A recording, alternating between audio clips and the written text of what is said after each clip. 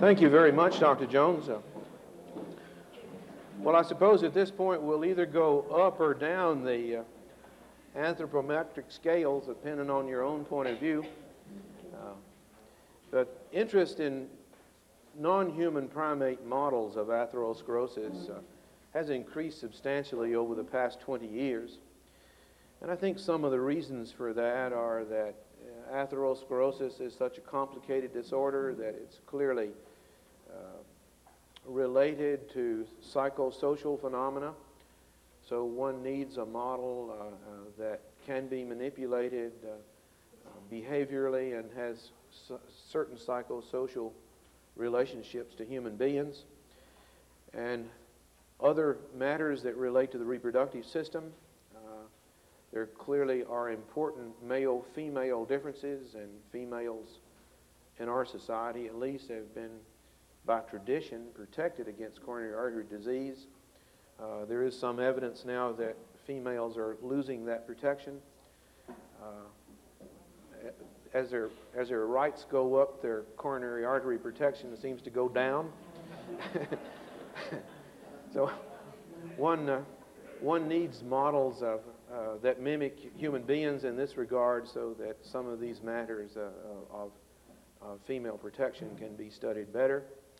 And then I think finally there's the sort of a basic feeling that if you're dealing with a disease that you don't understand very well, and uh, either its causes or its cures, that you're somehow more secure in your investments in research if you invest in an animal model that kind of looks like human beings and acts like human beings. And uh, most assuredly, then one concludes that whatever you find out will be more important to human beings. That, uh, that link really uh, remains to be shown, but it, uh, it's very much in the minds of, of federal decision makers, I think, that decide where resources should be allocated uh, and research by such institutes as the NHLBI.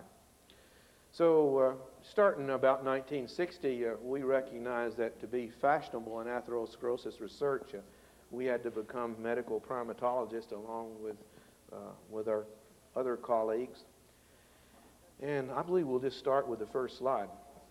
I'll have to tell you a little bit of a story about how we got involved with squirrel monkeys. And uh, it's a little bit of a story like our white Carneau pigeon story, and it shows you the value of good planning and careful critique of what you do over the years.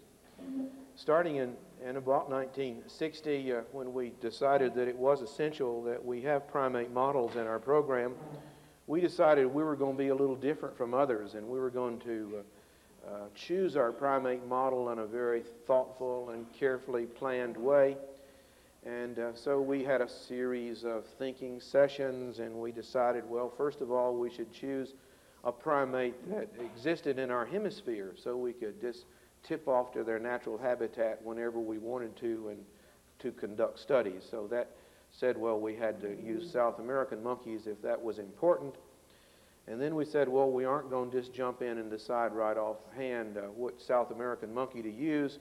We were going to take uh, three years to study them in their natural habitat and choose the one that seemed to most nearly resemble human beings in terms of their plasma lipids and the pathologic characteristics of their arterial lesions. Well, we did that, and it really was a lot of fun. Uh, in collaboration with the LSU School of Medicine, uh, we built a small laboratory in Leticia, Colombia, and over a period of two or three years, did survey uh, all of the monkeys of the Amazon basin in terms of their plasma lipids and the characteristics of their naturally occurring lesions. And it was on that basis that we chose squirrel monkeys. But to show you the value of that kind of planning, uh, although we decided how important it was to have the monkey model that we chose available in this hemisphere so we could do field work on them, uh, it's now, because of political and other reasons, no longer possible to do field work in Leticia, Colombia, and so it may have well have been in Asia or Africa or anywhere else uh, in that regard. Then the next clever thing we did in critiquing ourselves uh, was in about 1974, uh, 19, early 1975, we came to another strategic sort of a decision, and that is that it appeared to us that the complications imposed in squirrel monkey atherosclerosis by their herpes virus infections uh, uh, were of such magnitude that we should discontinue their use as models in atherosclerosis research. So for 1975 to 1980, we sort of set them on the back, back burner as models of atherosclerosis because of the complications of their herpes virus infections, we thought. Well, you can now appreciate what a clever maneuver that was. Uh, the most intriguing and the most fundable thing at this moment in atherosclerosis research has to do with the relationship between the herpes viruses and the pathogenesis of the lesions. And so what appeared to be a complication was really a research opportunity knocking on our door, and we failed to hear the knock, I'm afraid. well, what I want to do is to point out what I think are two or three of the major contributions of squirrel monkeys uh, to atherosclerosis research. When we brought them to our institution, uh, we did the first thing we do to visitors and new animal models, we feed them a lot of dietary cholesterol and see what happens. and uh, to our surprise, uh, they were tremendously variable in their response. Uh, the response being the amount of increase in their plasma concentrations of cholesterol. I spoke of this earlier. We called it hyper and hypo responsiveness to dietary cholesterol. And uh, one of these columns says males and one says females down here. It doesn't matter which one, they're both the same. I think that's males and that's females. But as you can see among a large group of monkeys, and each monkey is represented by a dot, uh, fed a diet containing one milligram per calorie of cholesterol, there is this big variability with some animals going over 800 milligrams per deciliter and some remaining somewhere between 100 and 300 milligrams per deciliter. And it is these low animals that we've called hyporesponders and these high animals that we've called hyperresponders. Now, this same phenomenon goes on in all non-human primates, and it goes on in human beings. Uh, we've chosen to feed rather large amounts of cholesterol so we could exaggerate the phenomenon quite a lot and, and see it. Several people have asked me if I would comment on the report of the Food and Nutrition Board uh, of the National Academy of Science recently, and I'm really happy to do that at every opportunity because uh, I think they made a, a, a very uh, uh poor conclusion from the data that it did exist. And some of you may know that what they said was that if you are in good health, it doesn't matter if you consume a lot of dietary cholesterol. That was sort of the bottom line of, of that report. But a part of being in good health is that you've been checked by your physician and found that your plasma lipids are normal. well, you see, what, what that is is really an extension of this phenomena that I'm talking about. If you're one of these individuals down here, then you would have been an individual that would have been seen by your physician and, and you would have a low plasma lipid because you're not responsive to dietary cholesterol, and then the report is correct. It doesn't matter if you eat dietary cholesterol because you simply can't elevate these animals at this end with dietary cholesterol. On the other hand, if you're one of these individuals up here and you eat dietary cholesterol, then it's likely to have a very adverse effect on your risk factors. So what they say is in partly is partly correct. That is, if you have been eating an average American diet and have a normal cholesterol, then it probably doesn't matter about the cholesterol you consume. The unfortunate part of the report is that people forget the front end of it and remember only the end of their recommendation, and that is that it doesn't matter if you eat dietary cholesterol. They forget the part that you must have been challenged with an average American diet and found not to be diet responsive, which is the part called in good health. But at any rate, uh, I think almost everyone agrees now that this hyper and hypo-responsiveness to dietary cholesterol is a, is a genetically controlled trait, that it is polygenic in its inheritance, and it was experiments done at our center with squirrel monkeys that uh, established that this was true. For these studies, we chose four male monkeys, uh, two of these male monkeys being quite hyper-responsive to dietary cholesterol and two being uh, non-responsive to dietary cholesterol. These are their responses to two different kinds of diets, and you can see they really are, are quite different. Well, in order to approach the measurements of these heritability of the trait, we took these four male monkeys and bred them to all the female monkeys we could get our hands on, or perhaps I should say all they could get their hands on. And we produced about 220 progeny uh, over a period of time. Uh, this is one year's progeny, and it depicts what I believe is, uh, is the happening in every uh, vintage of these babies. Zero time here is at the time of weaning, which in the conditions of this experiment were about four months of age. And the first thing that you can see is that even at the time of weaning and in response to the cholesterol present in their mother's milk, there is a statistically significant difference in the plasma cholesterol concentration of those infants uh, that is determined by the responsiveness of their parents. They were high if their parents were hyper-responders. They were low if their parents were hypo-responders. Now, among the infants that were taken then at the time of weaning and fed a cholesterol-enriched formula, uh, if they were, if their parents were hyper-responders, you can see that their cholesterol concentrations increased and tended to plateau at a high level.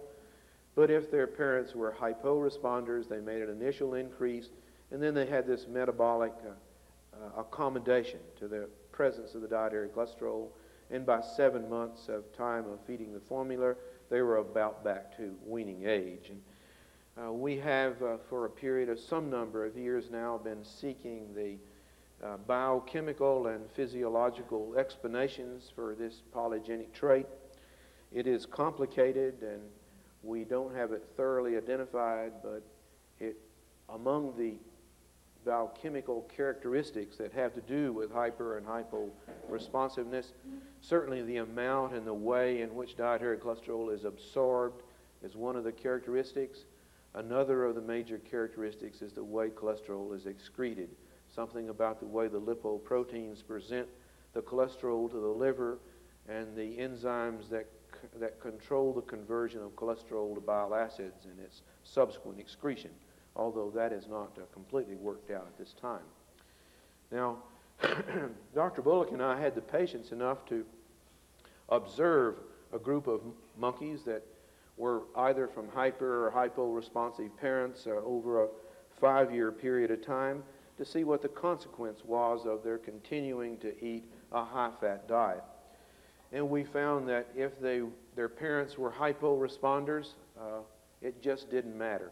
They were healthy five years later. There were no significant problems caused to the animals. like the Academy of Science report, uh, they were in good health, and so it didn't matter to them if they continued to eat cholesterol. But among those whose parents were hyperresponsive to dietary cholesterol, we saw a whole gamut of lesions that are associated with hyperlipidemia, all of which are seen in human beings as well. This is a hand of one of these monkeys, and you can see the palmar xanthomas on the surface of the hands. You can also see that the fingers are somewhat distorted by the presence of tendinous xanthomas as well. A few of the animals, about 15% of those that were hyperlipidemic, do develop xanthomas of the eyelids, which are called xanthelasma. This is an example of an aorta, an abdominal aorta from one of these hyper-responsive animals. It's been opened longitudinally, and you can see that it is extensively affected with atherosclerosis, uh, this being about the only normal intimal surface. Uh, here, almost all of the remainder of this abdominal aorta is affected then with extensive and severe atherosclerosis. Some interesting lipid lesions, uh, lipid-associated lesions occurred in association with the heart valves and were associated with fatal congestive heart failure in some number of the animals. You can see a foam cell lesion at the base of this aortic valve. And if one looks at the aortic valve leaflet, one sees a leaflet that is markedly thickened, and you can see that there are lipid clefts, a lot of reactive cells, a lot of mineral. In fact, it looks very much like atherosclerosis looks, but it occurs in this aortic valve. Now, another interesting lesion of squirrel monkeys that seems to occur more frequently than in other animals is a lesion that in the gross looks like a myocardial infarction. What it is is a rather large focus of myocardial necrosis that's likely neurogenic in its origin. You can see this white area. It's hyperemic on its side in this monkey. And one looks at the cut surface, uh, you can see a, just a great deal of myocardial necrosis.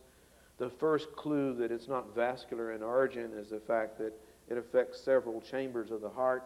You can see here that it affects the left ventricle, the interventricular septum, and extends into the right ventricle to some extent. Now, in recent years, uh, workers at the University of Virginia have carried on a number of uh, studies uh, to determine some of the causes of this myocardial necrosis in squirrel monkeys. Uh, and they've used conditioned avoidance situation in yoked animals and have rather shown conclusively that with intensive conditioned avoidance sorts of presentations, they can reliably induce extensive myocardial necrosis. Presumably, it has to do with extreme stress and their unusual cortisol metabolism and some aspects of the uh, potassium flux within the myocardial cells. But we've seen a, a very large number of these cases, and it's been our impression that it's always associated with some stressful event like the early weaning of an infant and, and feeding the infant a formula and changing its environment and that sort of thing is often associated with it, or sudden changes in environments or other manipulations in the animals that would uh, presumably be uh, stress related. If you just see these, you could easily confuse them with a myocardial infarction, however. Another interesting aspect of squirrel monkeys as models is that they do develop cholesterol containing gallstones in certain situations. This is an example of a gallbladder that's been opened uh, to show these gallstones. Uh, we've looked at this problem in fair much detail, as has Oscar Portman at the Oregon Primate Center. And we find that the cholesterol gallstones are associated with the kind of fat that the animals consume. Uh, they seem to share this with human beings, as a matter of fact, that if the diet is high in polyunsaturated fat, a lot of gallstones occur. If the diet's high in saturated fat, uh, then there are few or no gallstones. That's in the opposite direction of what happens to their plasma lipids, because if you feed them an unsaturated fat diet, their plasma cholesterol will go down, their arteries will be better, but their gallstones will be worse. Conversely, if you feed them saturated fat, their plasma cholesterols will be higher, their arteries get worse, but they don't get the gallstone disease. That seems to be a, the same dilemma that goes on in human beings in association with polyunsaturated fat or treatment with Atromid or other things that lower plasma lipids. Now, this is an example of the, of the arteritis that one sees uh, in squirrel monkeys, often associated with the plaques that are induced by diet. And Dr. Bullock did touch upon that some in his presentation. Uh, this is a rather typical example of arteritis associated with a diet-induced atherosclerotic plaque in a proximal main branch of coronary artery in squirrel monkeys. And Interestingly, one rarely sees atherosclerotic plaques in proximal main branches of squirrel monkeys unless there is a focus of arteritis. Now, that suggests to us uh, that in relooking at the herpes story, after we're beaten over the head with it by Minick et al., that this may very well represent some sort of an immunological injury to that artery or some direct viral effect of one of the squirrel monkey herpes viruses on the artery, which does then make it susceptible to, to atherosclerosis.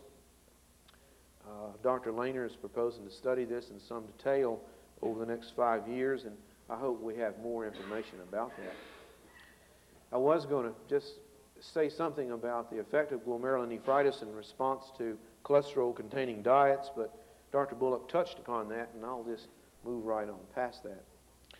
One of the other major contributions that squirrel monkeys have uh, made to atherosclerosis knowledge is an experiment that Max Lang did when he was a, a fellow at our place on psychosocial stress and atherosclerosis.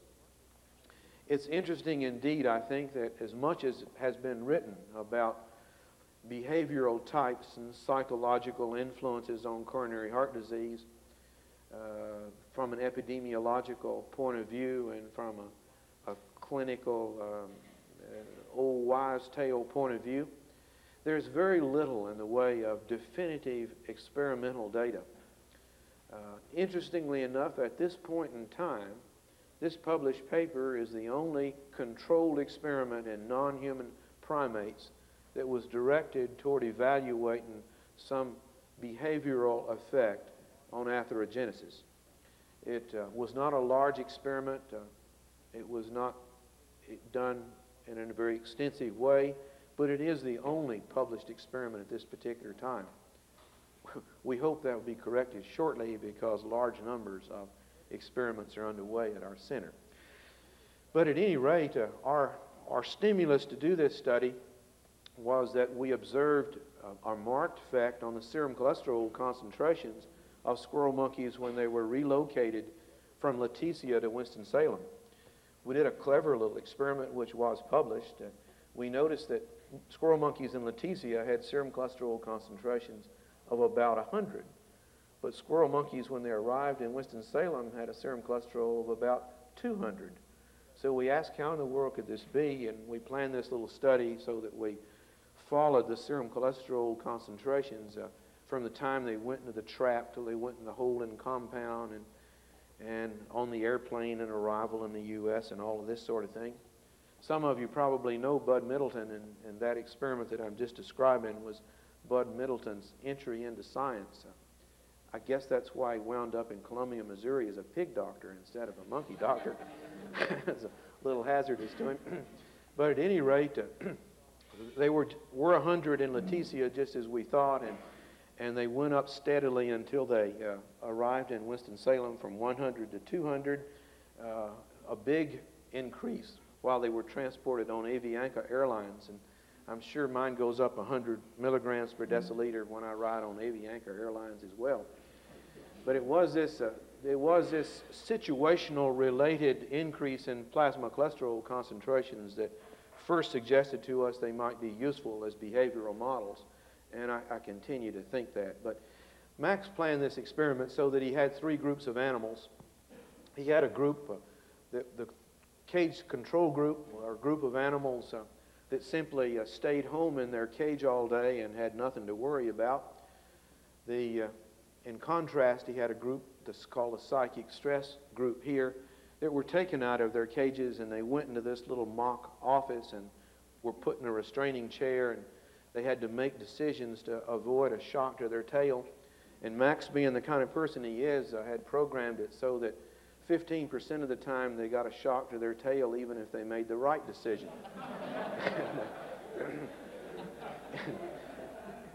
In more recent uh, years, uh, we've come to uh, call these the department chairman group because we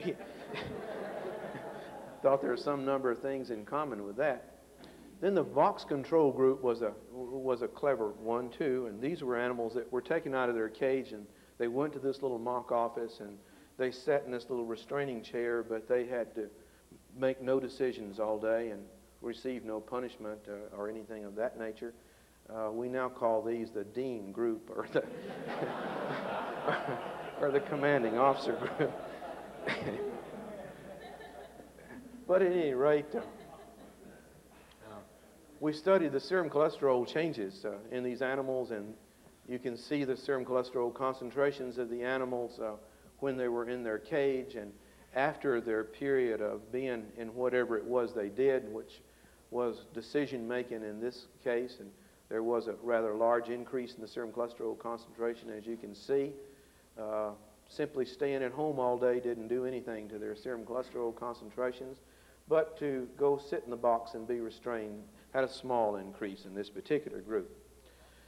Uh, we looked at their 17 keto steroid output as some additional evidence that the animals were in fact stressed, and as you can see, there's very little catabolic product of stress hormone coming out in the urine if the animal stayed home all day. If they were faced with stressful problems to solve, there was a rather remarkable increase in their urinary excretion of cortisol byproduct. And in fact, it was intermediate or nearly as high if uh, one simply was restrained in the chair. Finally, uh, we'll focus on the coronary artery atherosclerosis in these animals. They were, there were five animals in each group, and in the cage controls, none of the five animals had any coronary atherosclerosis. In the case of the, the psychic stress group, all of the animals, five of the five had coronary disease. In the case of the box control groups, four of the five did. And I guess the moral to that story, in addition to showing the usefulness of squirrel monkeys and this kind of research, is that if you have to go into work, you may as well go ahead and make some painful decisions because you're going to be just as much at risk to coronary disease anyway. Well, I'll, I'll move on now to rhesus monkeys, and, and I should say that I'm only going to comment on three kinds of models of atherosclerosis uh, because one can have a several day lecture on non human primate models of atherosclerosis nowadays because it has become such a large research activity and because so much is known. But uh, I didn't think y'all would want to stay for another uh, day or two and hear about monkey models of atherosclerosis.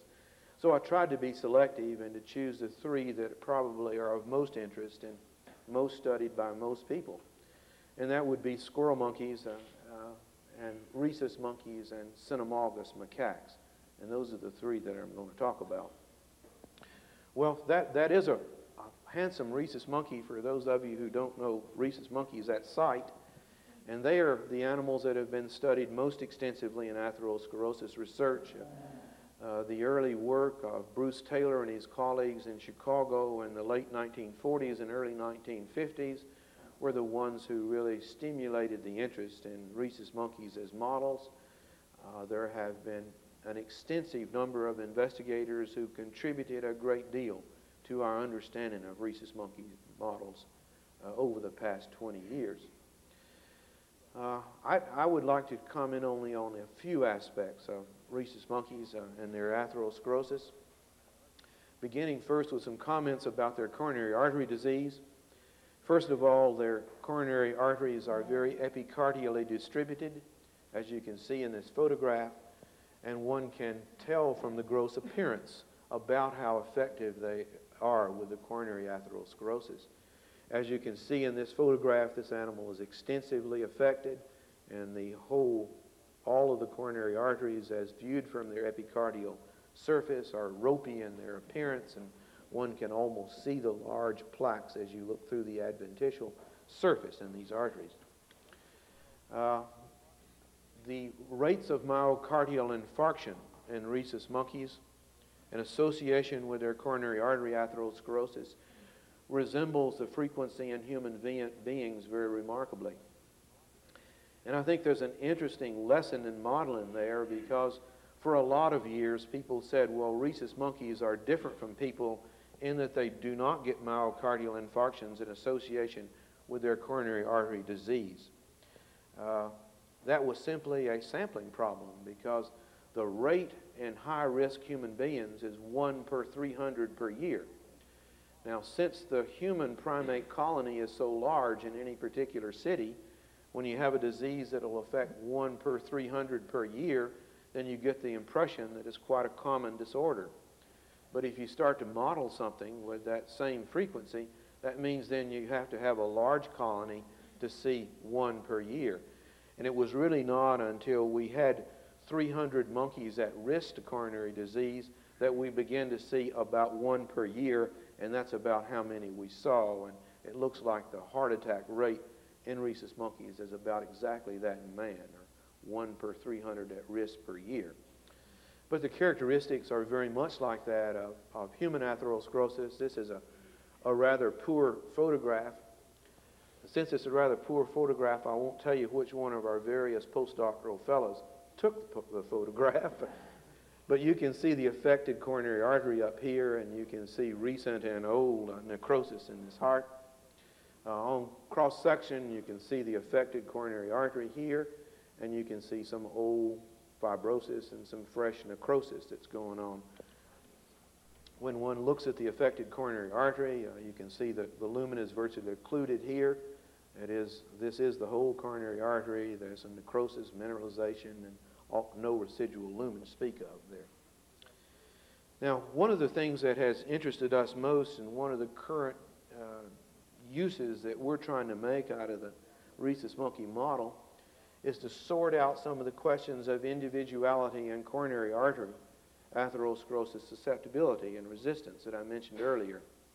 That is, among individuals with the same general level of risk factor exposure, what accounts for differences in more or less coronary artery atherosclerosis? And I think this is one of the really profound questions for the comparative pathologist these days because I'm increasingly struck by the number of human beings that we see at autopsy with extensive coronary artery disease, but that are not hypertensive and they are not hyperlipidemic and there are none of the traditional risk factors that will explain their extensive coronary disease. In fact, some people like to quote uh, uh, an estimate that I think is a little too high, and that is that you can't explain on the basis of traditional risk factors the extensive coronary disease in 80% of such subjects. I, I, think that's probably a little high. But at any rate, uh, we are, we're, we're making a lot of effort in trying to model this system now, and we hope we stimulate other people to try to model it. One might ask, well, why do we start with rhesus monkeys? There's nothing, no magical reason for that except that we had a very large number around we did an experiment with about 300 male monkeys, and so we had a, a large population to study, and that's why we did it. Our approach to the problem was a simple one. After, after about two years of, of wasted time with our cardiologic colleagues and trying to do stress electrocardiograms and trying to do coronary angiography and other things, we asked ourselves one day, well, why not be bold? Why mess around with these various non-invasive approaches if, in fact, one of the advantages to study in monkeys is that you can be as invasive as you wish. So our diagnostic uh, approach uh, was a rather harsh one. We opened their chest and opened their pericardium and looked at their coronary arteries and felt of them and photographed them. And this is an animal uh, seen at the time of surgery. It's one that we have scored as rather extensive in terms of their coronary artery atherosclerosis. You can see the coronary arteries here. They're large, they're ropey in their appearance, and we would call this an extensively affected monkey. In contrast, uh, here's a monkey with, with little or no coronary artery atherosclerosis in contrast with this. Oop, I meant to go backwards. In contrast, the first one we saw with a lot of atherosclerosis. Well, our approach uh, now has been to take these male monkeys uh, whose plasma lipids and blood pressures were all essentially the same, but that had very discordant amounts of coronary artery atherosclerosis, and to establish them into breeding groups and produce progeny to determine if the trait is a parenterally determined trait or, or if it's in fact not under genetic control. But our very strong bias was that it was a polygenically controlled phenomena. Naturally, this is about a 15-year experiment in order to get any really valid data, and we're very much in the middle of it now, being seven years uh, at this point into the study. We're quite hampered in one of our approaches because rhesus monkey females in a breeding colony situation seem to have almost complete protection against diet-induced coronary artery atherosclerosis. So we've not been able to use our thoracotomy technique to determine how much coronary disease our females had. And we've had to uh, move into a very complicated way of assessing what their genetic contribution is to their progeny since they have the female protection that prevents them from phenotypically expressing their own genetic information. Well, we, uh, we've done this now by uh, doing thoracotomies on all of our male progeny that are three years of age and trying, knowing the coronary artery status of our fathers in this particular experiment, then we assign a hypothetical number to the females. And we, it's a hypothesis at this moment, but we are testing it. We have established that among juvenile monkeys at three years of age, we can discern their coronary disease by thoracotomy Here's an example of a three-year-old juvenile produced by one of these matings, and you can see the plaques in this coronary artery right here. In contrast to this animal here who has no coronary artery atherosclerosis, of course, these individuals uh, were maintained under the same conditions of diet. So we think it seems to be working. We think our thoracotomy technique is working because this is a histological section from the animal that I showed you where I said he had plaques, and we can show histologically that he does have plaques. The animals we thought were normal were in fact normal. And we were indeed encouraged that if one compares our thoracotomy grade with a carefully derived morphometric measurement of their coronary disease, there's about a 0.8 correlation. Uh, Dr. Bullock and I grade these at the operating table independently so we can compare our individual correlations with histologic findings, and I can tell you we, we're exactly the same. I was hoping statistically one or the other of us would do it better than the other one, but we did it equally well. Well, so, no, so much about individuality. Just a few words about the use of, of rhesus monkeys in studies on atherosclerosis regression. That has been a, a large activity that has consumed a lot of effort uh, uh, in a number of research centers over the past 10 years because there is a lot of interest and concern about the extent to which at least coronary atherosclerotic plaques are regressible. Well, we, uh, we have been uh, involved in this research, uh, as has the University of Iowa and the University of Chicago in a rather major way. The design of our experiment uh, was a complicated one. It was one in which we had two colonies of rhesus monkeys, one with short-term diet-induced atherosclerosis for 19 months and another with more long-term induced atherosclerosis, uh, inducing it for twice as long, or 38 months. Whether they were fed for 19 or 38 months, uh, we took out a baseline group called an A group in each place that was carefully selected statistically to be representative of the population, and it was supposed to tell us how bad the atherosclerosis was at the time the dietary interventions began. Then what we did was to have what was called a B group and a C group. The B groups were maintained at plasma cholesterol concentrations that we believed would were bad for human beings. That was between 280 and 320 milligrams per deciliter. We chose that as modeling what's bad for human beings. The C groups, we chose to model what we think is good for human beings, and that's to be between 180 and 220 milligrams per deciliter. Uh, this is an example of a, of a frozen section stained for fat from one of the animals from the A group after 19 months of, of diet induction. This is from a B group with a bad, bad serum cholesterol concentration after two years of, quotes, regression. And you can see that it tends to look a little worse. And this is from one of the C group animals uh, that had the good cholesterol concentration, and one gets the impression that it tends to look a little better. Well, what we in fact determined in this experiment was that when one looks for small differences, like one might expect to see in an experiment of this nature, that the routine sort of pathologic procedures that had been used in the past to evaluate coronary artery atherosclerosis were, were not sufficient. That is, people had called coronary disease slight, moderate, or severe, or they graded it 1, 2, 3, 4, or whatever. But uh, with Dr. Bond's enthusiasm for morphometry and with Dr. Bullock's enthusiasm for morphometry, we went over to a system in where actual areas of a lesion are measured with a handheld digitizer from a projected slide and with an interface computer we actually measure the areas within each of the parts of the artery. For example, by going around this artery with the digitizer around the internal elastic membrane and then going around its, its luminal surface, one can then record an area of the plaque, which would be called the intimal area. And in the one slide I'm going to show you from this experiment, uh, the data presented are changes in intimal area, which would be the actual amounts of, of plaque in these particular animals. The top half of the slide is after two years of observation the bottom half of the slide is after four years of observation in being either at a bad or a good serum cholesterol concentration. Well, as you can see, after two years of being at a bad serum cholesterol concentration, the coronary disease got a little worse.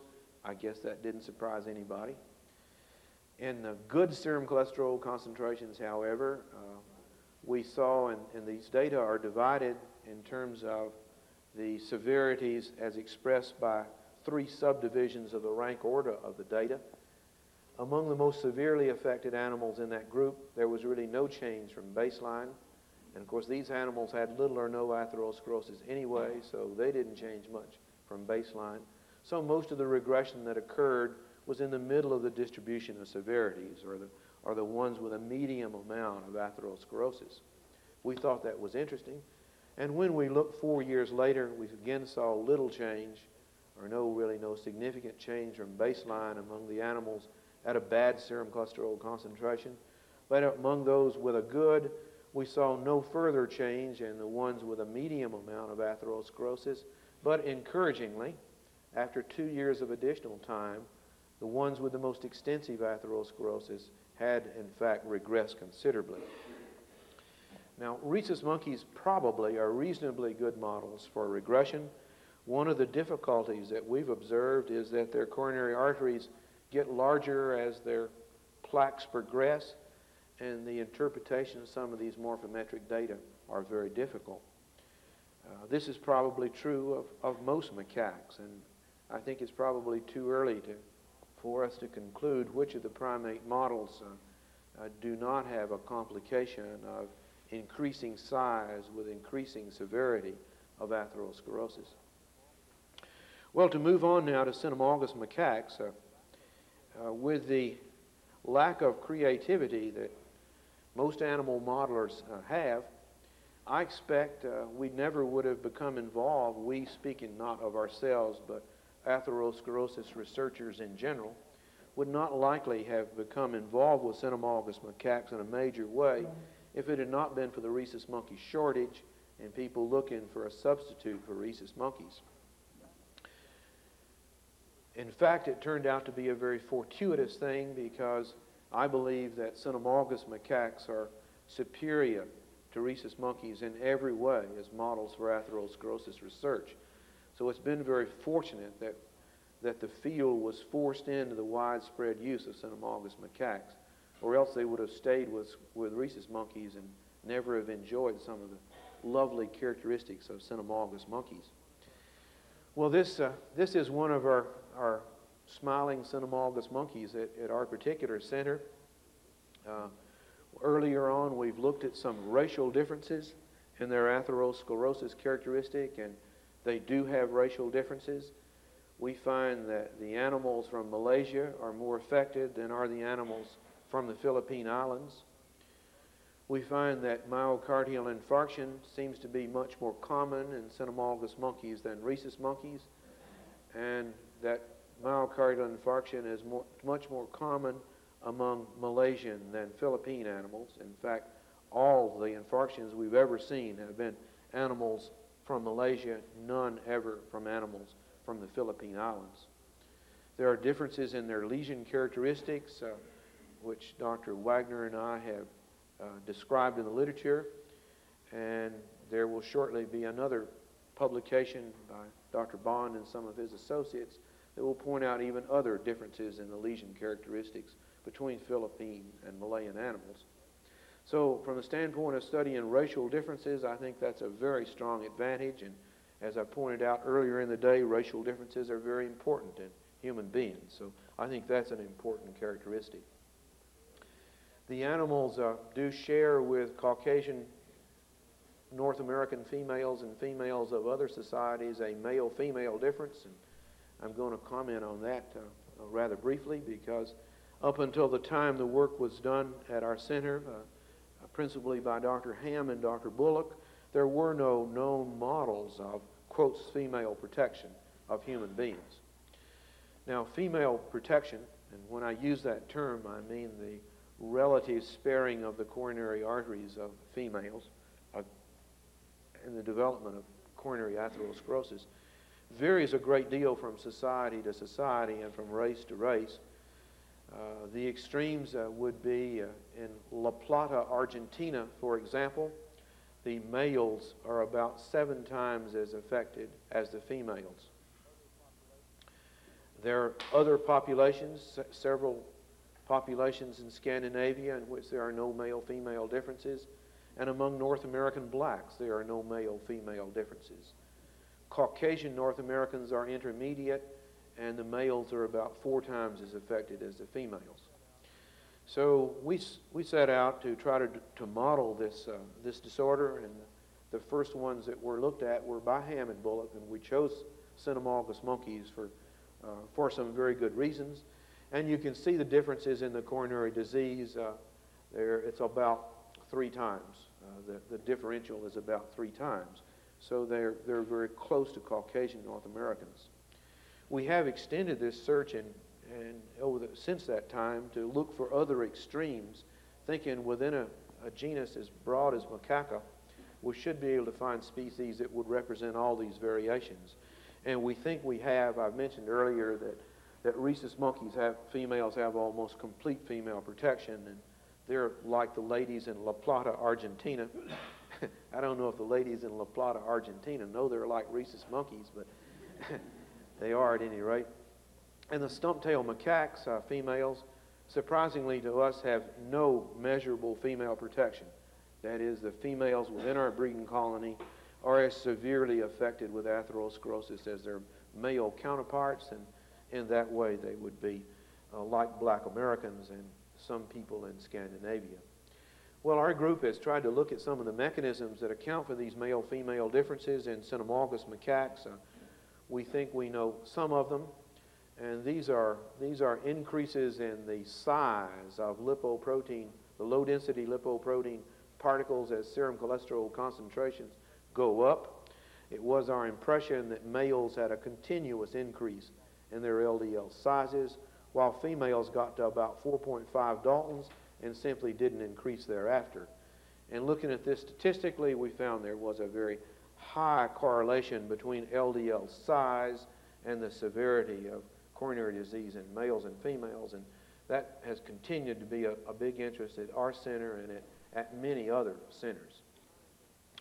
Well, in the, in the time that I have, uh, I want to say a few words about uh, vasectomy and atherosclerosis, and I have included that with the cynomolgus monkeys because our first experiments uh, were with cynomolgus monkeys, and all of our continuing experiments into the question of relationships between vasectomy and atherosclerosis are continuing uh, in cynomolgus monkeys.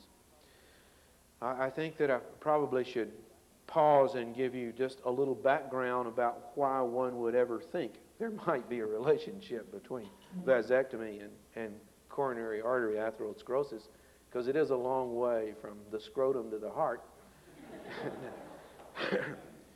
Well, it, uh, our, our interest in, in the question derives uh, from two pieces of emerging evidence over recent years. The first of these were by Minick and his co-workers at the Cornell Medical School who showed that the repeated injection of a foreign antigen, and they used horse serum, worsened atherosclerosis in rabbits.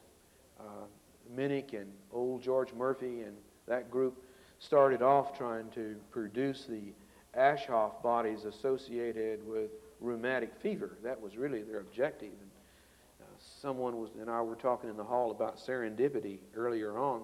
They really were not into the atherosclerosis business at that particular time, but they were rheumatic fever doctors, and they thought this repeated exposure of this foreign antigen would surely produce the Aschoff bodies of, of rheumatic fever.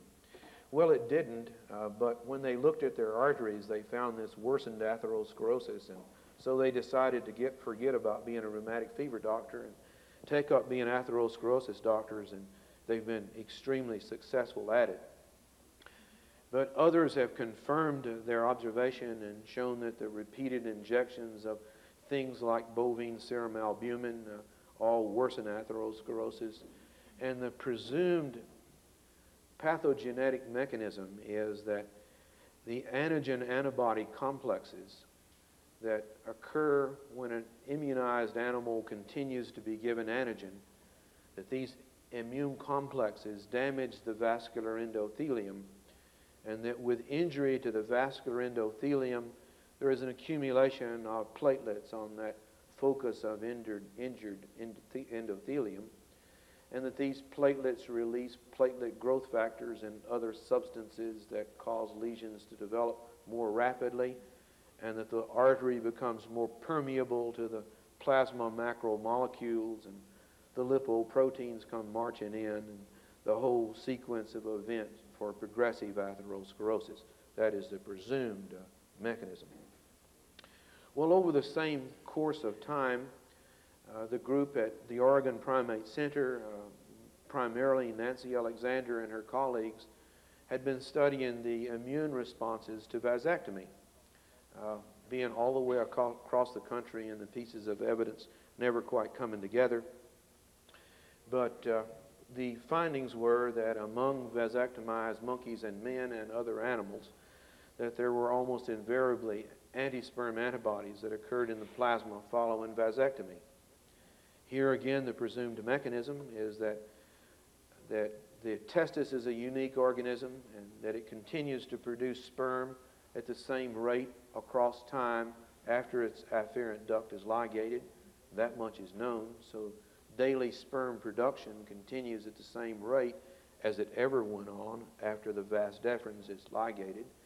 And that lacking a normal anatomical passage, uh, these sperm are are degraded to some extent in the vas deferens and, and both directly and by macrophage invasion into the vas deferens do enter the circulation as a variety of different kinds of sperm antigens. And it being a very foreign protein, antibodies form against this antigen, and the antigen continues to enter the circulation. So just like a daily injection of bovine serum albumin, one has a daily injection of sperm antigen. And it's a constant infusion pump, and we carry it around and protect it from cold and injury and all of that sort of thing. It's a very unique sort of a little biological system. Well, based on that evidence, we, uh, we concluded that for every reason that we could imagine, vasectomy should do the same thing to atherosclerosis that daily injections of horse serum or bovine serum albumin did. So we conducted the first experiment with cynomolgus monkeys, and that brings me back now to cynomolgus monkeys. And the data you see are for sham vasectomized animals and vasectomized animals that were fed the same diet for the same length of time. The diet was one that was rich in cholesterol. It contained a milligram per kilocalorie of cholesterol. Their plasma cholesterol concentrations were exactly the same between the two groups. The vasectomized animals made a typical immune response to their vasectomy, and of course the sham vasectomized animals did not. When we examined their arteries, uh, as you can see from the data, the vasectomized animals were remarkably, uh, had remarkably more atherosclerosis than did their sham vasectomized counterparts, uh, being very striking in the carotid artery, as you can see, being striking in the carotid bifurcation, being not very impressive in the thoracic aorta, but very impressive in the abdominal aorta, where the vasectomized animals had about 92% of their surface involved with plaques, while it was only 28% involved in the sham vasectomized animals, and it was true in the other arterial sites that we studied. Uh, one of the most striking, let me just back up again and point out that in the cerebral arteries, the numbers you see are the number of grossly visible plaques in the base of the brain. And we were intrigued by these because to find plaques in the base of the brain of monkeys simply fed an atherogenic diet is, is very infrequent. One does see it when hypertension is superimposed upon an atherogenic diet, but these animals were not hypertensive. So we were rather struck by really a, a, rather large difference in the number of plaques in the base of the brain. And they were photogenically very beautiful. These are, I'm going to show you two examples of the base of the brain from vasectomized cynomolgus macaques. Here you can see the large uh, plaques uh, at the confluence of the vertebral arteries into the basilar artery. And this is one of my actually favorite photographs. You can see the vertebral arteries come into confluence to form the basilar artery and a, a plaque which almost completely constricts the lumen of the artery here in the basilar artery. So immunologic events as risk factors for cerebral artery atherosclerosis, I think will continue to be really very important. Uh, just in, in closing, we've done a longer term study uh, with rhesus monkeys. One of the one of the concerns that we and others had about the cynomolgus uh, study on vasectomy was whether one had to have a very cholesterol-rich diet and thus very high cholesterol concentrations in order to see the effect of, of vasectomy on atherogenesis. Well, at the Oregon Primate Center, they had some old rhesus monkeys that had been around a long time uh, that had had vasectomies for 9 to 14 years, and they had age-match controls for them. These animals had always eaten monkey chow, which is devoid of cholesterol, very low in fat, and very high in fiber, and they had plasma cholesterol concentrations of around 120 milligrams per deciliter, about 100 milligrams per deciliter, which was HDL cholesterol. So they had the most favorable kind of plasma lipid concentrations you could hope for in the most favorable dietary history, and they only differed by having had a vasectomy for 9 to 14 years in their age match controls.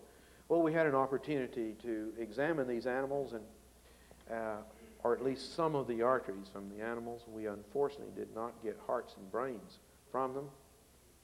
But as you can see, the extent of atherosclerosis uh, uh, is greater among the animals with long-term vasectomies, even if they eat a diet that's devoid of cholesterol. It's particularly striking in the abdominal aorta, as it was in the case of the cynomolgus macaques, of the difference in being highly significant about 35% versus 5% of the surface of the arteries involved with plaques. Uh, in the arteries of the legs, uh, there were about three times as much atherosclerosis in the arteries of the legs among the long-term vasectomized animals as among their sham, I mean their age-match controls. Uh, we ask ourselves about their circulating free antibody, and about half of the animals were negative for circulating free anti-sperm antibody. So we reasoned that it would be interesting to look at the, the atherosclerosis scores based on whether they were positive or negative for circulating free anti-sperm antibody. Our reasons being if they were negative for free anti-sperm antibody, although they had once been positive, that that would suggest that they were in antigen excess and that the reason they were in antigen excess, uh, I mean, the reason they were negative for circulating free antibody is because all their antibody is tied up by the excess antigen. In contrast, those that were positive, we reasoned, for circulating free antibody would be those that had less antigenemia and uh, therefore would be positive for circulating free antibody. Stated another way, and we've gotten subsequent evidence for this now, those that are negative for free antibody would be those that would tend to be positive for circulating immune complexes. Well, at any rate, we, we divided up these vasectomized animals on the basis of whether they were positive or negative. And as you can see, there is a, a major effect of being negative for circulating free anti-sperm antibody. Uh, as you might imagine, this is one of the most common questions I get from our vasectomized friends who had their had their anti-sperm antibodies uh, evaluated, they say, well, what does this mean? Well, as you can see, I really don't know what it means. I, I suppose to have a high antibody titer is good based on our present evidence, and uh, to lack an antibody titer is probably bad. But what you really have to do is to measure the circulating immune complexes very critically, because it would be our hypothesis that these are negative are those that are high for circulating immune complexes and Dr. Tung at the University of New Mexico has confirmed this in three of these animals. Uh, finally, I'll show you an example of an abdominal aorta from one of these long-term vasectomized animals that had, this animal had a plasma cholesterol concentration of 100 milligrams per deciliter. Uh, he'd had a, a vasectomy for nine years, and you can see in his abdominal aorta this raised uh, plaque that's rather extensive. Well, I think uh, Dr. Jones asked my last slide, and I'll stop here. I believe I'm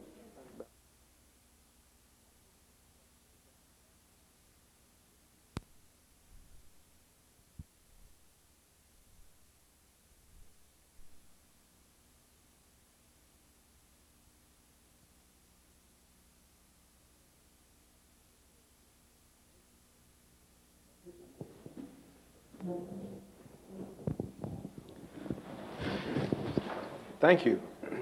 Not only is this morning North Carolina morning here in Washington, but it's going to be a heavy dose of atherosclerosis, uh, it seems. Maybe it'll keep you from eating eggs, at least for tomorrow morning, uh, with such a big dose. Perhaps I uh, should begin by just saying a few words about atherosclerosis of human beings uh, so that we all start from a common uh, base of what it is that we're trying to model. Atherosclerosis is a disease process uh, primarily of the arterial intima, but involving to some extent uh, the superficial media. It's a process that begins early in childhood. Uh, certainly by the time infants are, are year old, there are changes in the arterial intima. Uh, fatty streaks are quite common by five or six years of age.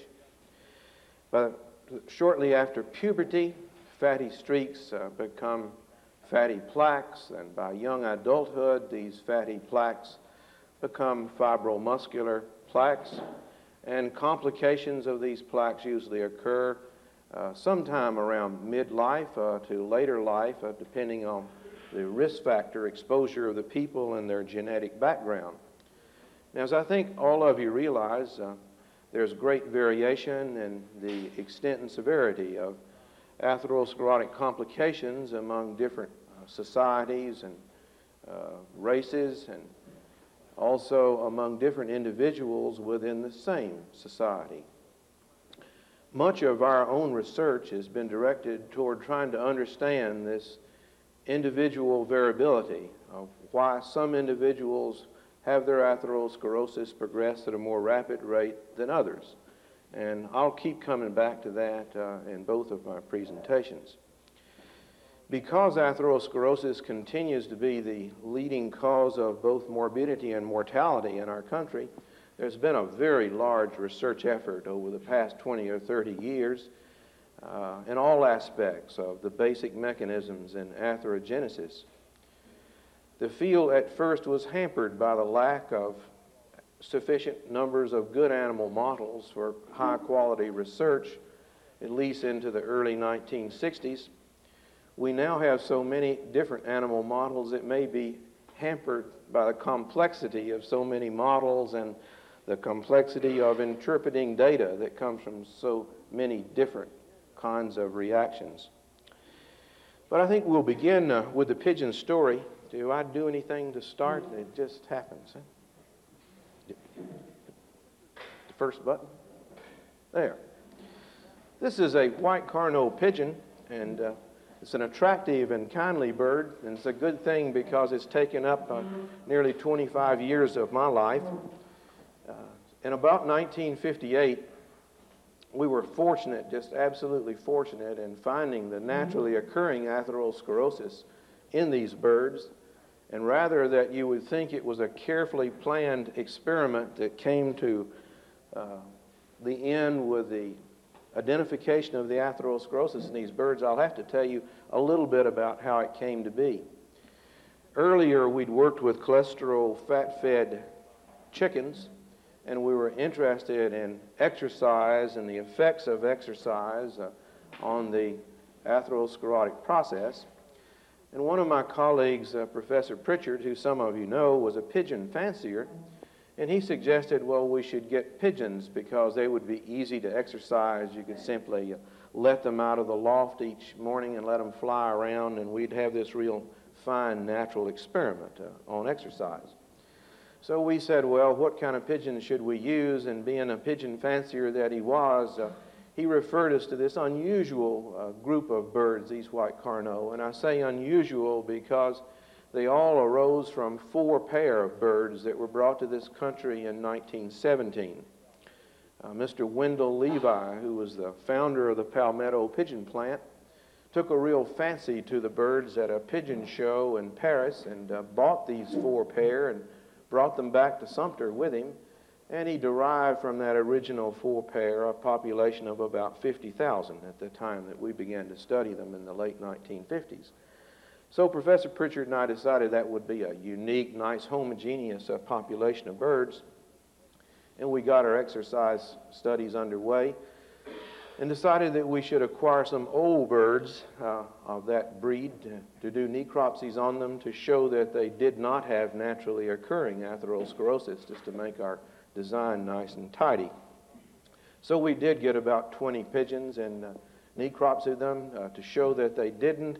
Only all of them did, and that started a, a line of research that's been ongoing at our institution now for a little more than 20 years and in several institutions around the world.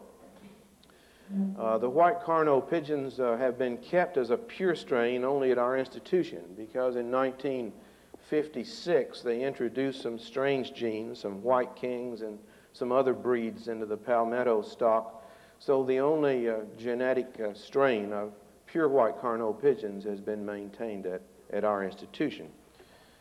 Now, this is a picture of a show racer pigeon we thought that if we were to do productive research, uh, we needed an atherosclerosis resistant pigeon, and we chose uh, the show racer as a, an example of an atherosclerosis resistant pigeon because they were resistant in the aorta.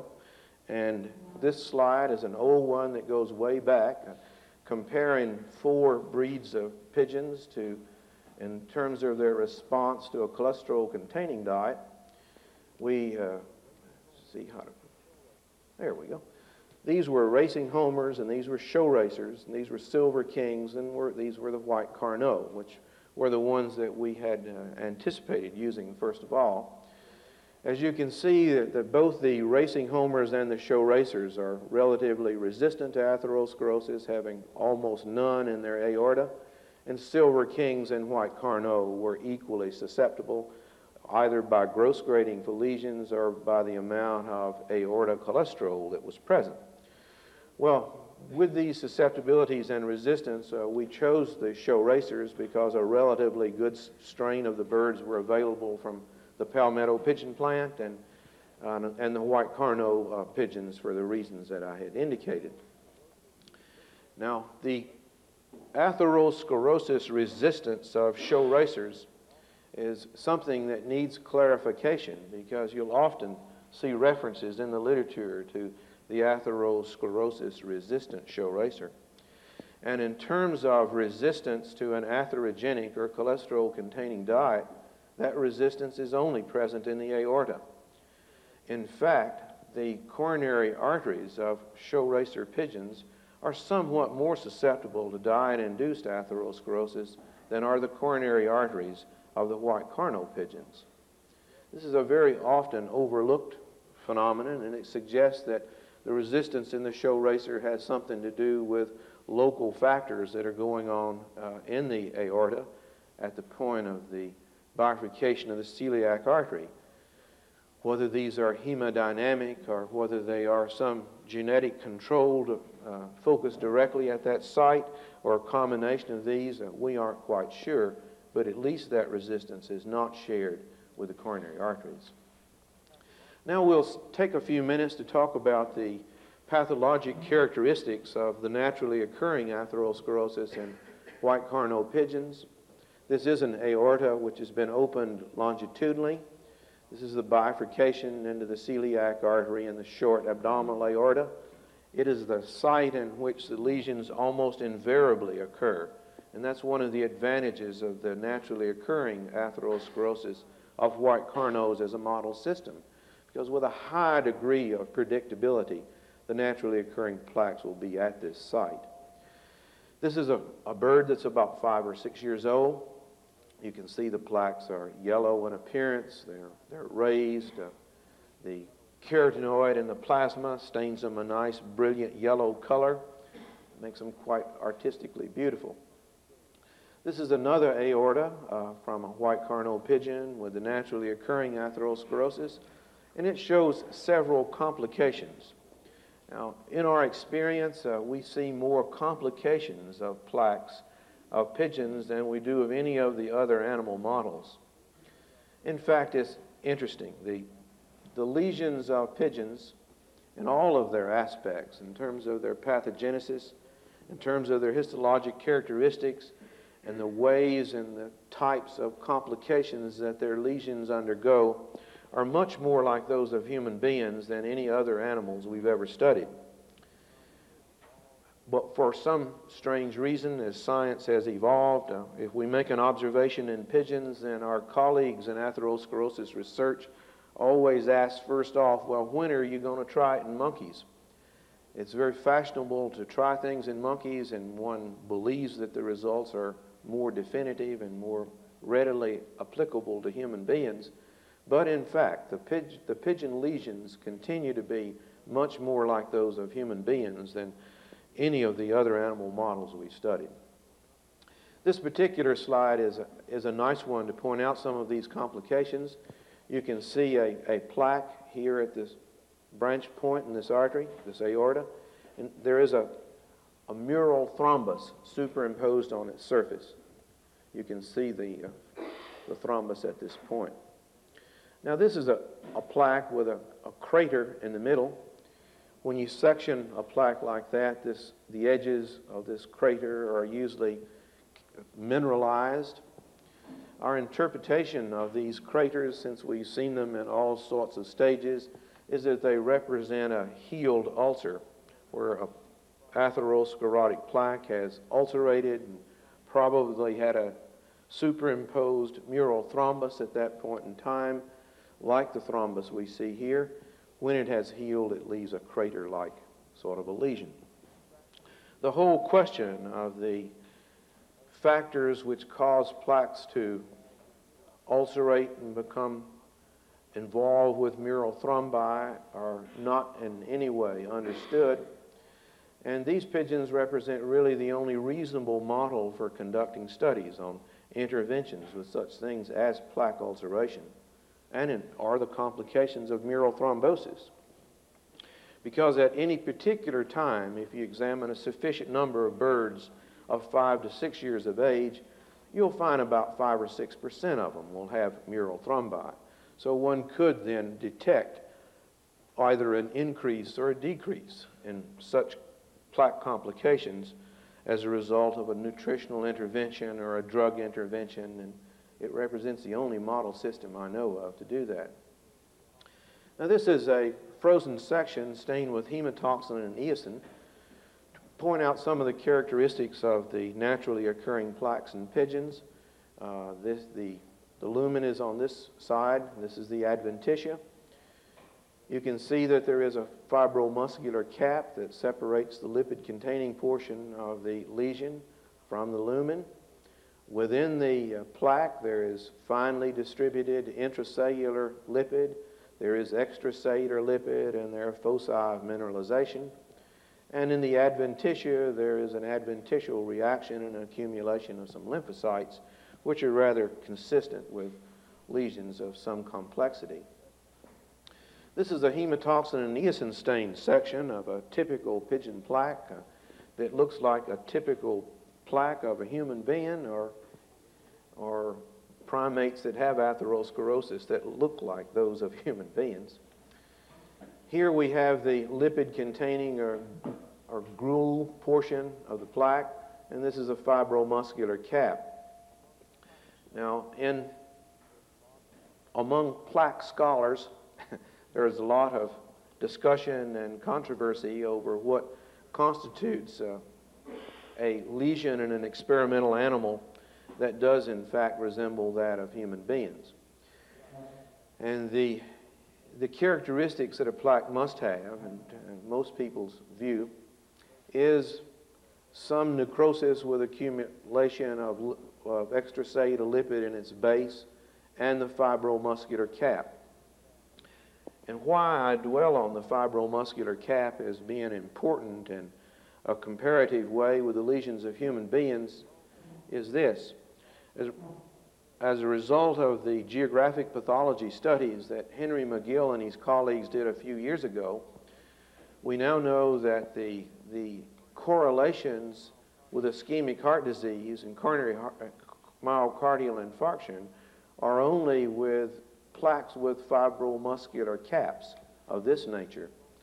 The ones that are purely fatty plaques and have foam cells with no fibromuscular cap are, or fibrous plaques, as they are referred to in the epidemiological literature, are not associated with an increased frequency of myocardial infarction in a particular population. And that probably has to do with the complications of the plaque, plaque ulceration and mural thrombosis and those sort of things. They seem not to occur in purely fatty plaques, but they seem to occur in plaques with fibromuscular caps. Mineralization is a, is a characteristic that's quite common in, in pigeons. Here is a H&E section with the lumen up here. We see the fibromuscular cap, the gruel with a lot of the cholesterol crystal clefts, and a small amount of mineralization in the base. Now this mineralization can be either small as one sees here, or it can be very extensive as one sees in the base of this particular plaque with this lamella of mineralization. This is an example of both the extensiveness of lipid clefts and the adventitial reaction that one often sees with the extensive accumulation of lipid clefts. Pigeon plaques become vascularized in their base, and vascularization uh, is an important characteristic of lesion complication because there can be hemorrhage in the base of a plaque, and that can be one of the mechanisms by which the plaque then does suddenly occlude the lumen of the artery that it affects. Now, the vascularization that one sees in the base of this pigeon plaque is an, an unusual sort. These are small arterioles in the base. These are very rare to see in human beings, and in fact are not that common as a kind of vascularization in pigeon plaques. In the next slide, we see the kind of vascularization that is much more common, and it's just a capillary. You can see an endothelialized space in the base of this plaque. These small capillaries uh, probably grow in from the adventitial circulation, although there's a lot of controversy about where they come from. No doubt some come from the lumen of the vessel, but I believe most of them are grows from adventitial circulation. this is an example of, of an ulcerating or an ulcerated plaque from a pigeon. We saw a gross photograph a little earlier of a plaque with a with a mural thrombus on its surface. If you were to section a lesion that looked that way in the gross, this is about how it would look in the microscopic. And I will orient you now.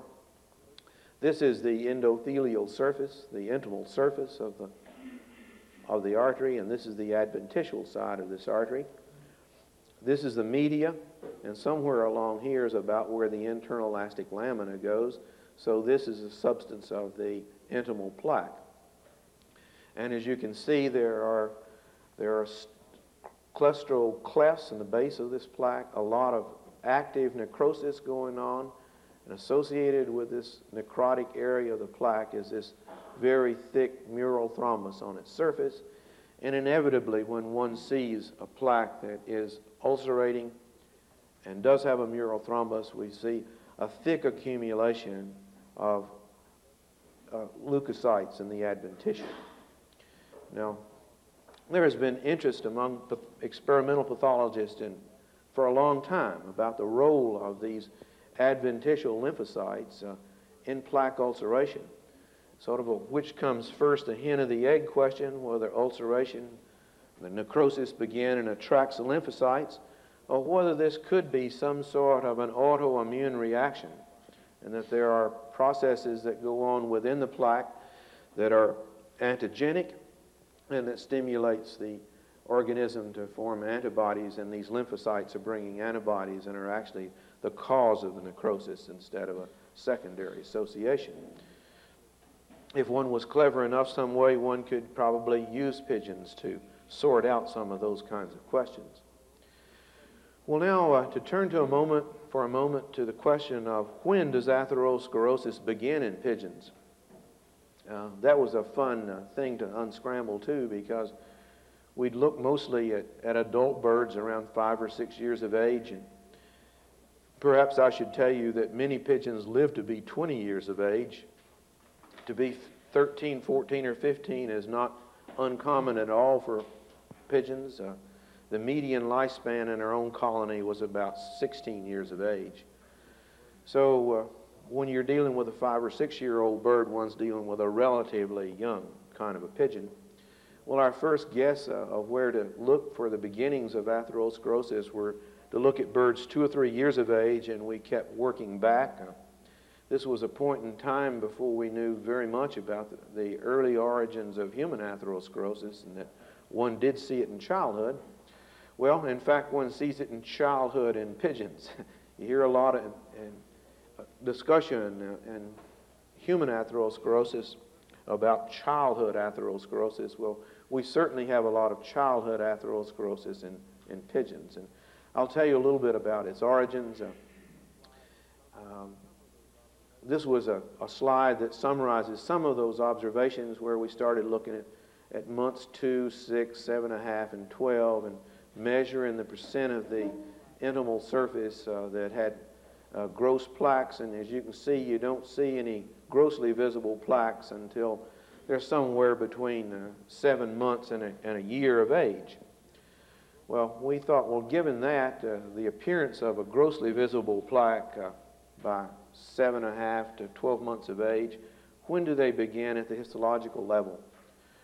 Well, we started looking at, at young birds, and I thought maybe I'd review uh, how fast young pigeons grow because it's an unusual part of uh, pigeons as models. First of all, uh, pigeons are hatched out and uh, they're very infantile, uh, unlike baby chickens or, or baby turkeys that are fairly well developed at the time they hatch out and are able to feed themselves. Uh, pigeons are very infantile. This is a one week old bird. Uh, when they're first hatched, they're unable really to hold their heads up, and both their mothers and their fathers have to participate in their feeding since they're unable to feed themselves. I guess, uh, I guess pigeons were the first ones to ever hear of women's liberation because the male pigeon spends as much time nursing the infant as does the female of the species. In fact, it's on a rigorous schedule. Uh, there are certain hours of the morning that the male actually either sits on eggs or is involved in the nursing of the infant, and other hours that the female does so. And this is rigorously clocked and uh, doesn't vary but more than a few minutes in each part of the day. Well, the baby pigeon is fed what's called pigeon milk, which is really desquamated uh, epithelial lining cells of the crop, which under the stimulus of prolactin, which comes mostly from the pituitary's signal from the brain when they hear the, the baby pigeon squeak, causes these cells to proliferate. They're regurgitated and forced down the mouth of, of the baby pigeon kind of an unwholesome sounding uh, process. it is the way pigeons are fed. Well, in, in order to appreciate the early complexity of pigeon atherosclerosis, you have to know that this pigeon milk, as it's called, is very rich in fat. It's, uh, they're lipid-filled cells that are desquamated, and the material contains almost three-tenths of a milligram per kilocalorie of cholesterol. Uh, so when one tells the story about pigeons developing atherosclerosis without ever having eat, eaten any dietary cholesterol, it really is a, only a half truth. Uh, it's a truth in the sense that they didn't eat it, but it's not a truth in the sense that their mothers and fathers did cram some cholesterol down their throats in their early life. So it, they did get quite a lot of cholesterol. Their serum cholesterol concentrations in early life are interesting. First of all, pigeons tend to have rather high serum cholesterol concentrations anyway. Uh, they do vary seasonably, but in the fall of the year, a normal pigeon serum cholesterol would be something around 280 milligrams per deciliter, reaching a high of something like 350 or 400 milligrams per deciliter in the spring months. Now, that's without any dietary cholesterol. But when baby pigeons are born or hatched, they have serum cholesterol concentrations around 7 or 800 milligrams per deciliter. And that's because they derive all of their nutrition from the egg yolk. Of course, baby chickens do that too. Uh, but that was a little surprising to us until we realized that they were egg yolk fed uh, infants until they hatched out. So, since they are born or hatched with serum cholesterol concentrations of around 700 milligrams per deciliter, and since the mother and the father are cram more fat rich material down their crop, they maintain high serum cholesterol concentrations until they're about five or six weeks of age. Now, that was one week old bird. They grow remarkably, and by two weeks of age, uh, they have gotten to about this stage of development. This is a three week old pigeon. That's a four week old pigeon. That's a five week old pigeon, and by five weeks, they've reached a body weight that will not be significantly different from their adult body weight. Now, we began looking at these, at these sites of predilection for lesion development uh, at a few days after hatching. This is, an, this is a rather poor example, I'm afraid, but it is an example of a frozen section which was taken at the point of the celiac bifurcation. There is a bifurcation pad there, but we believe this may be one of the earliest changes that we can see at that site, and that is the proliferation of smooth muscle cells in and around the celiac bifurcation, which one begins to see uh, uh, or one sees in birds that are three days old to a week old. So it's very early uh, in the development of the pigeon. I wouldn't be surprised if one could find them uh, almost said in utero, I guess one should say in ego. and one would go into the egg since they are deriving a lot of their nutrition from the egg yolk. They're very hyperlipidemic. I expect there are demonstrable changes in ego. But at any rate, uh, by the time the birds are five weeks of age, there really is a very clearly demonstrable intimal plaque. This is, again, a frozen section. It's been stained with Sudan 4. You can see the internal elastic membrane right here and a rather thick uh, intimal plaque, which is really an increased number of smooth muscle cells, we believe, and these smooth muscle cells are, contain a lot of fat droplets uh, within their cytoplasm, giving the appearance of, of a fatty streak by five weeks. Now, to say a few words about the coronary artery atherosclerosis of pigeons, uh, it looks exactly like that which goes on in the aorta. Pigeons do not have large epicardial arteries like primates and man. They become intramyocardial very early in their distribution, and this is a typical looking coronary artery plaque.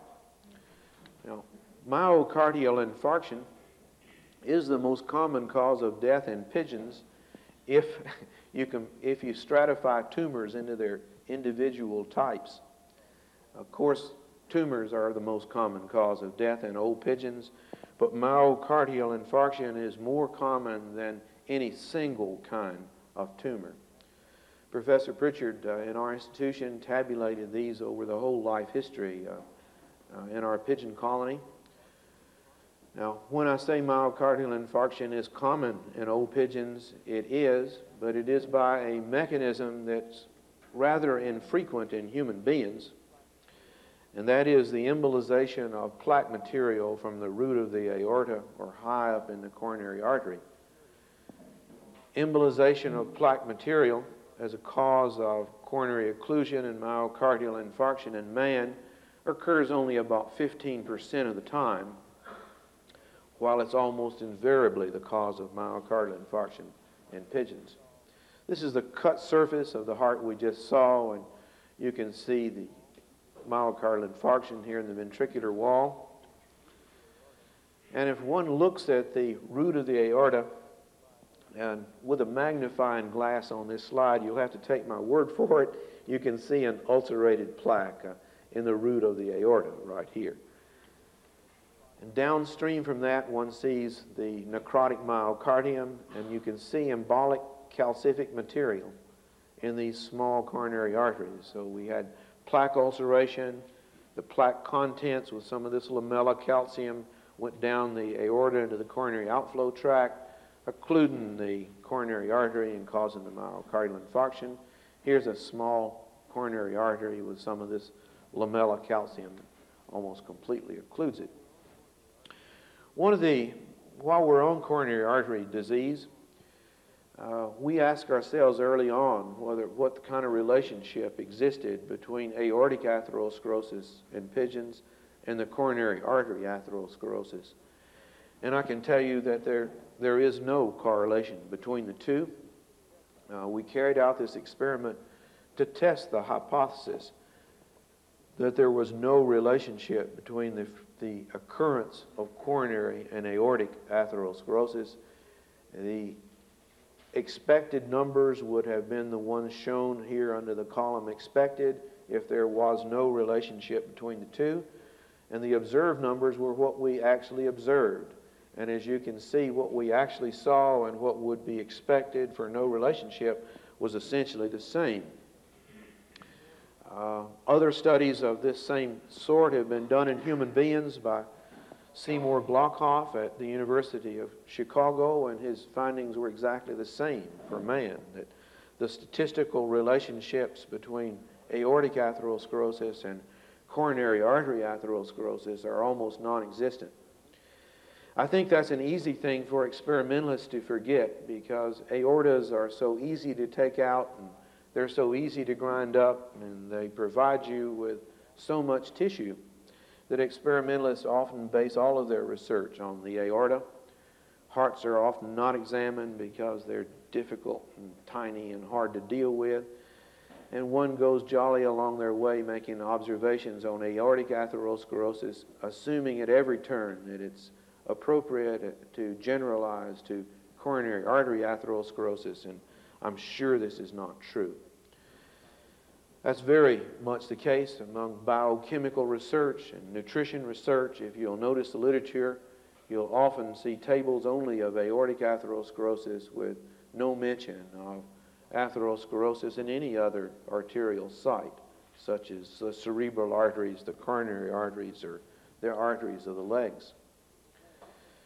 Now, in more recent years, uh, we've been endeavoring to develop some selected strains of pigeons uh, that had characteristics uh, that would be more useful in research. And it had to do with the question I mentioned earlier on of individual differences in susceptibility. And what we sought to develop in our pigeon colony was a strain derived from our parent population of white Carneaus that would have worsened atherosclerosis independent of the traditional risk factors. Now, we knew from our previous experiment that we could choose substrains of the total population that tended to have higher cholesterol, plasma cholesterol concentrations, and that they would then have worsened atherosclerosis. But we wanted to disassociate that phenomenon. And I think I'll dwell here for a moment on why we wanted to do that because that will make a part of the monkey story a little easier for you to understand. Excuse me. There are two major ways in which individuality and susceptibility to atherosclerosis uh, can be manifest. The first is in individual differences in the control of plasma lipoprotein or plasma cholesterol concentrations. That is, within a population of animals or a population of people, if you were to feed them all exactly the same diet, it could be a, a lipid rich diet, you would see a, a, normal distribution of responses in, term, responses in terms of increases in plasma concentrations of the lipids. This individuality can, can be quite extensive some individuals can respond with, by pro, rather profound increases in their plasma lipid concentrations, while others will not respond at all. Uh, we call that hyper and hypo responsiveness to dietary cholesterol, and it is a term that has rather caught on uh, even in talking about people's response to dietary cholesterol. Well, the kind of variability that I want to talk about here now is not that kind of variability because we know that hyper and hypo-responsiveness to dietary cholesterol does occur among pigeons and monkeys and people, and that when those concentrations are high, the atherosclerosis tends to be worse, and when those concentrations are low, the atherosclerosis tends to be less. Well, the question that we wanted to address ourselves to was within a, within a population of animals or people whose traditional risk factors were all the same, one continues to see a great deal of variability. Now, among people who come to the autopsy room, who ha all have the same blood pressures, who all have cholesterol concentrations around 200 milligrams per deciliter, let's say, some of those individuals will have quite a lot of atherosclerosis, and others will have almost none. The same is true of monkeys and pigeons. Within a given dose of risk factor, wherever you set it, there will be some individuals with a great deal of atherosclerosis and some that have almost no atherosclerosis. Well, for a good many years, we and others have been trying to model that aspect of human atherosclerosis so that we could get at the basic pathogenetic mechanisms that accounted for these individual differences in susceptibility. So it was really for that reason that we set out to find a strain of, of pigeons that might serve as useful models within that particular context. And uh, we were reasonably successful in hatching out what we've called WC2. How we went about that experiment was that we set up a hundred different pairs of white Carneau pigeons and we uh, simply numbered them sequentially by pair numbers and tried to identify a particular pair of pigeons that was producing the trait that we aspired to, that is, worsened atherosclerosis with the same dose of risk factors as those random bred birds in the colony. Well, as you can see, since we call this one WC2, that was our number two pair of pigeons. If if we'd known how it uh, was going to turn out, we could have only had two pairs instead of a hundred, and it would have worked out better.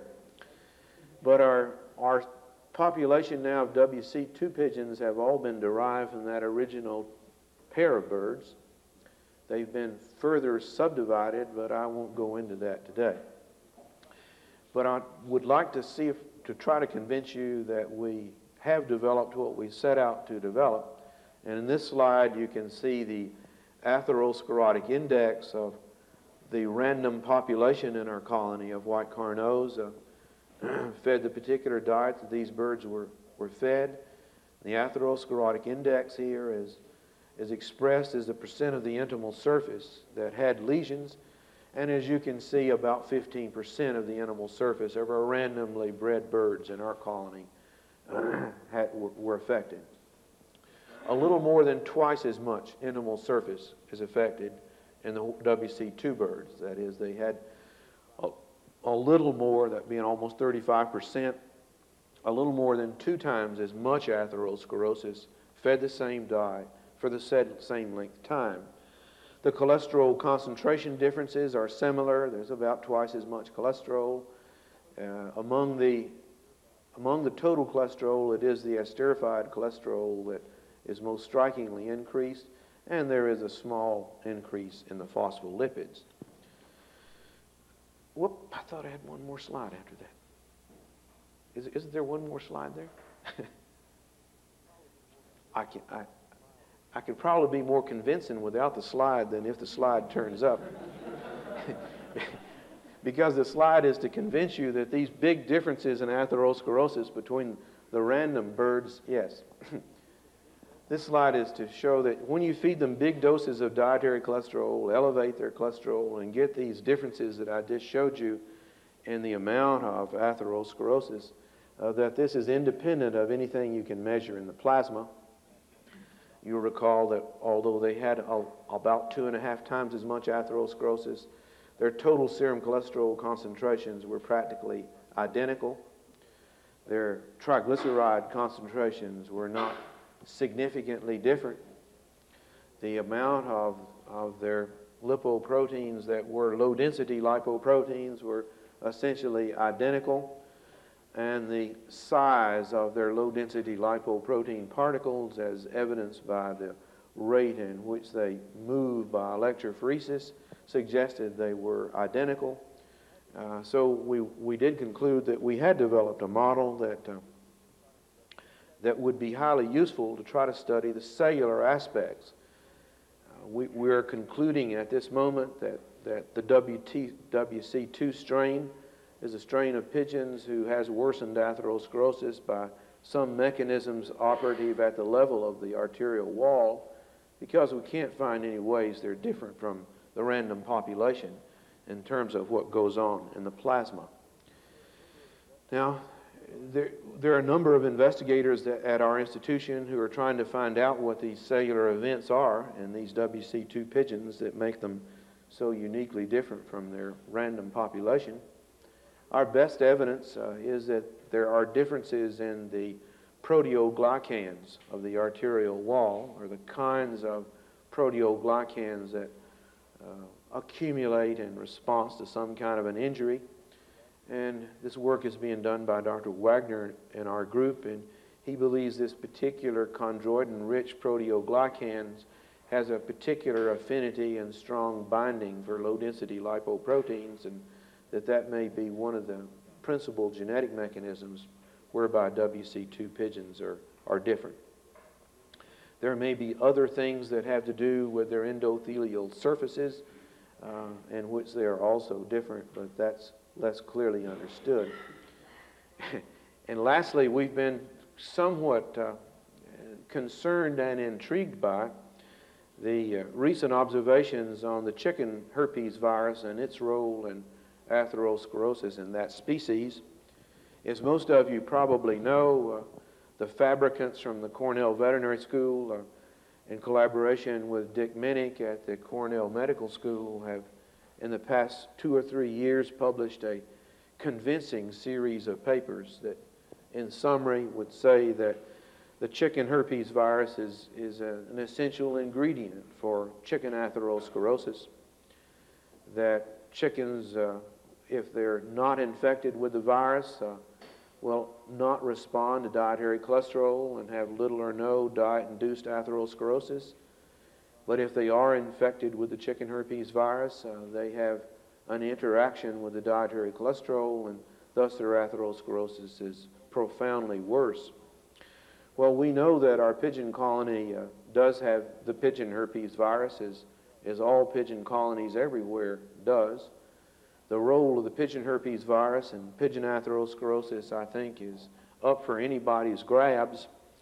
And it will be uh, interesting indeed if somewhere a few years from now we find that the WC2 pigeon uh, selected as we selected it was selected for some unique susceptibility to the pigeon herpes virus or some unique way of dealing with the pigeon herpes virus. But I think the role of the pigeon herpes virus in pigeon atherosclerosis is likely to be a, a very interesting part of comparative pathology over the next five years. We're, we're not studying it